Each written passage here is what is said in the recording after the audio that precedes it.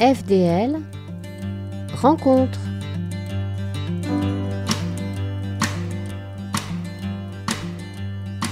Monique Dérangère, bonjour. Bonjour. Vous êtes présidente de l'association La Ronde des Arts en Morvan, c'est bien ça? Tout à fait. Depuis combien de temps elle existe, cette association? Ah, la Ronde des Arts existe depuis 11 années. D'accord. Quelle était l'idée de départ? Alors, cette idée, euh, je l'ai proposée à l'époque à la communauté de communes autour de Moulins-en-Gilbert, à la commission culture, et c'est ainsi que euh, nous avons démarré cette Ronde des Arts qui consistait à faire des expositions, notamment de peinture et de sculpture, dans les sept églises de l'époque, puisque à l'époque il y avait sept clochers dans cette petite communauté de communes, euh, sur une semaine donnée. Voilà comment cela a commencé. Vous-même, vous êtes euh, artiste?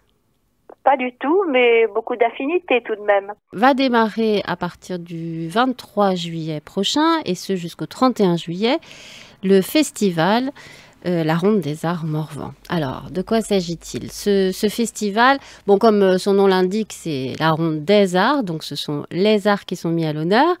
Euh, Est-ce que vous pouvez nous en dire un peu plus avant qu'on passe vraiment au calendrier? Comment ça se décide les artistes qui sont présentés durant ce festival? Voilà, alors au fur et à mesure de l'année, ça se travaille sur une année passée, hein, nous repérons des artistes d'ici et d'ailleurs.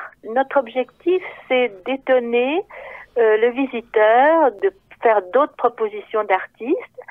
Et puis également, nous rajoutons à cela notre volet patrimoine, puisque comme je vais vous l'expliquer plus tard, nous mettons aussi l'accent sur le patrimoine local. Bien, alors on va commencer avec cette programmation. Donc euh, à partir du 23 juillet, les 23 et 24 juillet au parc thermal, c'est un marché de potiers. Donc là, c'est plus de l'artisanat finalement. C'est de l'artisanat, tout à fait, mais De l'artisanat d'art. tout à fait, mais c'est également pour valoriser Saint-Honoré-les-Bains, puisque chacun sait que c'est quand même un berceau du, des potiers, de la poterie, qui date de plusieurs siècles maintenant, et c'est aussi cet axe sur cette euh, idée que nous voulons insister. Et c'est pour, pour ça que nous exposons nos potiers dans le parc thermal parce qu'à l'origine, les potiers de l'époque vendaient à cette population très aisée, au fond,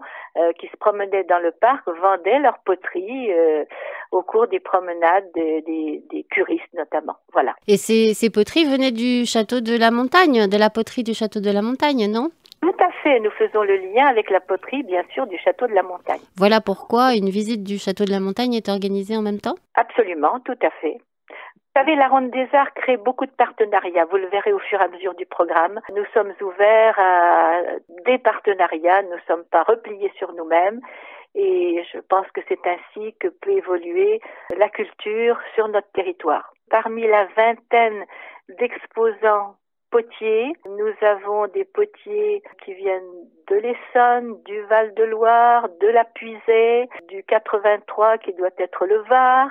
C'est très intéressant de recevoir euh, des gens d'ailleurs. Je voulais vous parler tout d'abord de l'organisation, puisque nous sommes en même temps cette semaine du 25 au 31 sur 12 communes. Donc ceci implique euh, bien sûr une intervention de bénévoles dans chacune des communes qui accueillent les visiteurs, qui surveillent exactement l'exposition. Nous sommes également très proches des communes qui nous accueillent, vous pouvez bien le penser. Donc pour une petite logistique ou même une plus grande, c'est ainsi que nous pouvons organiser ce festival. Voilà. On peut rappeler ces différentes communes. Alors il y a Glu-en-Glen, La Roche-Millet, Meaux, Millet, Montaron, Moulins-en-Gilbert, Onlay, Préporcher, Sermage, Vandenesse, Villa-Pourçon. J'espère ne pas en oublier.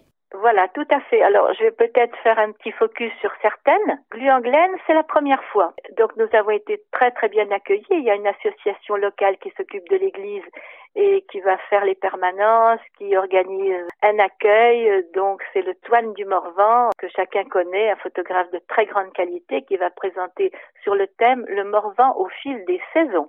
La Roche-Millet, c'est un ancien partenariat parce que, comme je vous expliquais, nous sommes aussi attachés au patrimoine Et ce qui nous intéresse à La Roche-Millet, c'est de faire un appel sur euh, la restauration de l'église Saint-Pierre. Depuis quelques années, euh, on restaure les peintures, c'est tout à fait intéressant.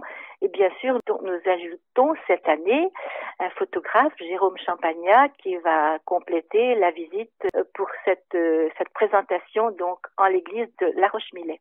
Nous arrivons à Meaux, à l'église Saint-Michel.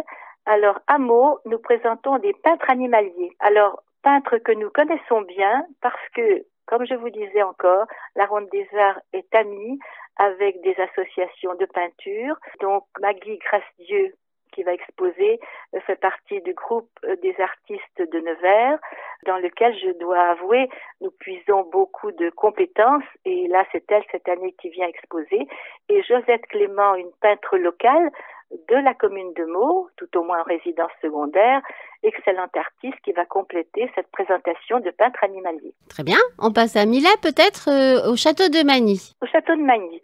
Château de Magny, euh, nous avons repéré depuis l'année dernière et créé également un partenariat parce que au château de Magny, Pierre de Saint-Maur, peintre et sculpteur, cache au fond du potager une très jolie galerie de peinture et nous l'avons fait découvrir déjà l'année dernière.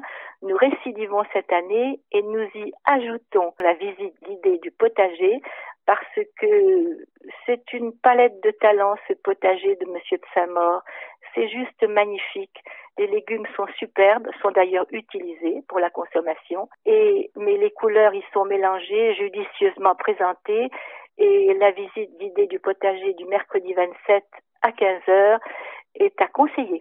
Et cette visite est sur, euh, se fait sur rendez-vous? Euh, L'exposition de peinture avec Pierre de Saint-Maur se fait sur rendez-vous, donc c'est toute la semaine.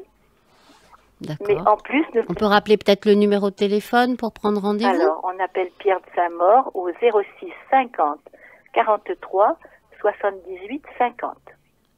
Quant à la visite guidée du potager mercredi 27 juillet, là, il n'y a pas besoin de prendre euh, rendez-vous.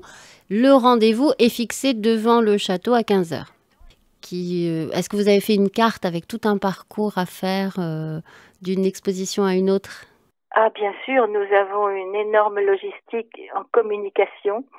Là vont s'installer des panneaux routiers sur toutes les entrées principales des douze communes. Et la communication, ben, elle se fait notamment avec vous, avec d'autres radios, avec notre site internet la ronde des arts en morvan.fr où vous trouvez absolument tous les renseignements, les affiches, les affiches, les offices de tourisme, enfin bon, une très grande communication. Alors on passe maintenant à Montaron, à l'église Notre-Dame de l'Assomption. Alors nous y sommes depuis 11 ans. Nous sommes toujours très très bien reçus par Monsieur le maire de Montaron. Et cette année, ce sont deux amis, Régine Sicard et Françoise Dumas, qui vont exposer leurs œuvres. La première, c'est une peintre contemporaine.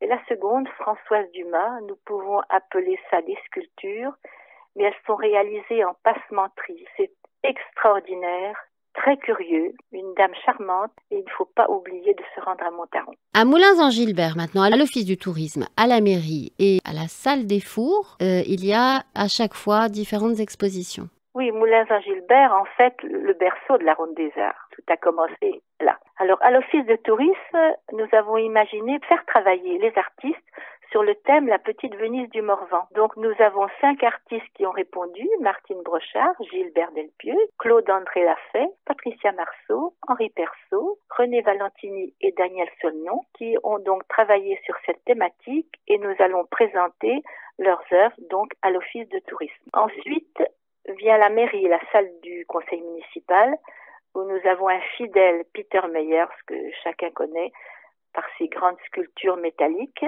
on en voit un peu partout en Bourgogne. Mais cette fois-ci, il va nous présenter ses sculptures petit format dans une salle et je pense que beaucoup de gens seront ravis de le revoir. Et puis pour finir, pour finir, nous présentons également une peintre Jacqueline Boutry à la salle des fours de l'EHPAD. Alors là, nous avons une relation privilégiée, la Ronde des Arts avec l'EHPAD, puisque nous sommes toujours attentifs de proposer des petits moments, moi je dirais de bonheur pour les, yeux des résidents. Hein.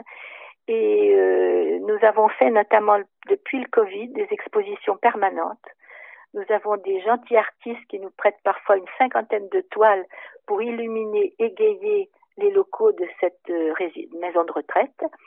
Et bien sûr, là, nous faisons une exposition spécifique euh, dans la salle des fours parce que l'EHPAD de Moulins-Saint-Gilbert a une histoire, puisque avant, il s'agissait du couvent des Ursulines. Il, y a, il existe des belles pièces, des salles qui sont restaurées magnifiquement et ça donnera l'occasion aux visiteurs de se rendre compte d'un petit bout d'histoire, un petit point d'histoire de cette euh, euh, maison de retraite de Moulins-en-Gilbert. Euh, donc là, Jacqueline Boutry va exposer ses toiles intitulées Couleurs marines. Je n'en dis pas plus, c'est à découvrir. À Onlay maintenant. Que se passe-t-il à Onlay Alors à Onlay, la Ronde des Arts est sensible au patrimoine, est sensible à son territoire et notamment à sa forêt. Donc la forêt Morvandelle, ça veut bien dire ce que ça veut dire, c'est-à-dire euh, montrer combien la qualité de notre euh, territoire est importante au travers de sa forêt. Alors nous avons sollicité là encore des peintres pour travailler sur ce thème. Donc, dans la très jolie salle socio-culturelle d'Onlay, eh bien, vont exposer Guylaine Rimer, Nicole Sommet, Laurent Chabrillat, Anne Gillard, Barbara Zeder, Thérèse Biche et des sculpteurs, puisque sur la même thématique, les sculpteurs qui travaillent sur bois pourront être présents. Il s'agit de Jacques Beldran, René Bonodo, Alain Dousseau et Michel Le Goff. De plus, en extérieur, nous avons deux photographes, Jean-Luc Luissen et Jean-Luc Pillard, qui ont fait réaliser, enfin que nous avons fait réaliser sur des bâches leurs photographies. Et dans le village de Onlay, vous pourrez voir une quarantaine de photographies de très grande dimension euh, pour justement donner l'ambiance de la forêt Morvandelle qui nous est, comme je vous le disais, très chère. Après Porcher Après Porcher, lieu traditionnel depuis 11 ans, nous présentons les peintures de Marie-Jo Barcelone, une fidèle artiste du groupe euh, artistique de Nevers et qui vient régulièrement avec que nous accueillons avec beaucoup de plaisir. Des peintures contemporaines mais avec beaucoup de de chaleur, de créativité et puis je dirais également le visiteur pourra profiter pour visiter cette charmante petite église Saint-Pierre de Préporché où notamment les vitraux euh, qui ont été réalisés il y a quelques années sont à conseiller un sermage à la salle socioculturelle. Des sculptures. Alors, c'est Madame le maire, Dominique Strieska, qui nous y accueille. Et chacun sait combien sa salle socioculturelle, elle l'anime et elle en prend soin. Donc, c'est là que nous exposerons les sculptures de Xavier Besson, qui nous vient de l'Allier et qui est donc cette année notre invité d'honneur. Ça sera vraiment un beau moment, une belle visite également à Vandenesse, à l'église Saint-Saturnin. Alors, les peintres du Créat, c'est qu'est-ce que c'est que le Créat de Cercy-Latour? Alors, le Créat, c'est une association euh, qui fait de l'animation artistique, c'est-à-dire qu'ils proposent des cours en cours d'année, d'aquarelle et d'autres choses, mais font également des expositions, ont un grand nombre d'artistes, nous sommes amis bien sûr avec eux, et nous puisons également dans leur vivier d'artistes pour exposer. Et cette année, nous leur avons proposé donc l'église Saint-Saturnin de Van Ness où Evelyne Bonnereau, Eliane Lamouret, Michel Lefebvre, Philippe Moreau, Samantha Romé, Dominique et Nicole Guyot vont exposer. Grande église à Van Ness, et beaucoup, beaucoup d'œuvres à découvrir. Une autre église maintenant, l'église Saint-Symphorien de Villa-Pourson. Peinture, gravure et artisanat d'art. Alors, Villa-Pourson, tout un événement parce que là, nous sommes avec les peintres locaux à l'église Saint-Symphorien. Nous avons Dup Exal, les gravures de Bernard Mallet, l'artisanat de Rine Margarita, tous des artistes connus, locaux ou sympathisants locaux. Donc euh, cette église qui a beaucoup de charme également pourra accueillir les visiteurs et je souligne que nous avons un bon nombre de bénévoles qui euh, sont prêtes.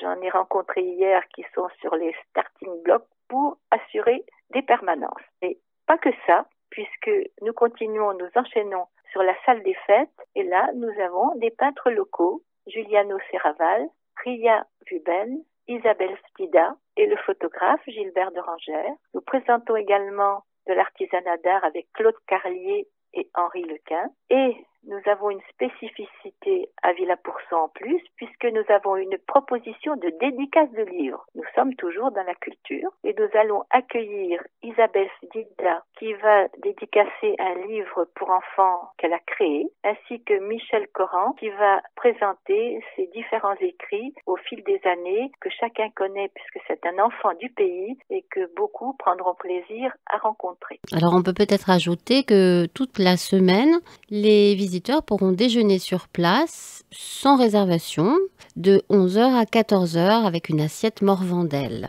Alors c'est cela. Euh, encore une fois, le partenariat fonctionne avec différentes associations et c'est avec le comité des œuvres sociales de Villa-Pourson à qui nous avons proposé d'offrir une assiette morvandelle, justement sans réservation. Le visiteur qui viendra d'un peu loin, qui va caler son programme de la journée, va arriver à Villa-Pourson et pourra y déjeuner après avoir visité ou avant les, deux expositions concernées et puis peut-être enchaîner après sur euh, Gluanglaine, La Roche-Millet, voire plus. Les arts, c'est aussi la musique, donc on va peut-être passer au concert. Il y a trois concerts qui sont proposés cette année. Toujours une petite note de musique, c'est tout à fait complémentaire à notre esprit. Le concert de Préporché est passé, a eu lieu le 3 juillet, l'église était comble. Nous avons ensuite une proposition pour nos visiteurs à l'église Saint-Pierre de Sermage le 29 juillet à 18 18h et c'est le duo Fantasia bien connu qui va donc nous proposer un concert de musique classique, flûte traversière et piano. Ce sera suivi d'un dîner. Alors ensuite, je reviens sur Madame Dominique Strieska, maire de Sermage, qui donc concocte avec une association locale, encore une fois, pour proposer un dîner champêtre, je pense d'excellente qualité, comme elle sait le faire régulièrement. Ce sera sur réservation. Je vais rappeler le numéro de téléphone, le 06 82 64 85 31. Et on termine par un concert en partenariat avec euh, Le Vent sur l'Arbre. Oui, tout à fait. Nous avons un partenariat avec Le Vent sur l'Arbre. Nous revenons à Montaron. Le Vent sur l'Arbre qui va proposer dans son programme le 4 août à 11h30, thématique particulière, folie musicale. C'est un mixte vraisemblablement entre musique et poème. C'est une surprise, mais également une belle surprise de se trouver dans ce cadre de Montaron, cette petite église absolument superbe que les visiteurs ou les auditeurs pourront découvrir l'église Notre-Dame de l'Assomption. Nous sommes prêts à accueillir pour le plaisir, le bonheur, et nous en avons besoin en ce moment euh, de quelques minutes de détente, voire plus, et rencontrer parce que les artistes seront présents régulièrement euh, sur chacun des sites proposés. Toutes ces œuvres seront en vente, bien sûr. Les œuvres sont en vente, absolument. Le contrat se fait directement entre l'artiste et l'acheteur. Voilà, bien sûr, toutes les, les œuvres sont en vente parce que ces gens-là ont également besoin de vivre et nous savons que depuis deux ans, euh, la vente a été très réduite avec toutes les contraintes sanitaires qui se sont ont associées euh, d'une manière un peu négative euh, sur tous nos tous nos événements culturels et autres. Bien, merci beaucoup Monique Dérangère. On vous souhaite un beau succès cette année encore pour le Festival de la Ronde des Arts en Morvan qui, je le rappelle, aura lieu du 23 juillet au 31 juillet. Merci beaucoup et puis à très bientôt. C'est nous qui vous remercions. FDL Rencontre.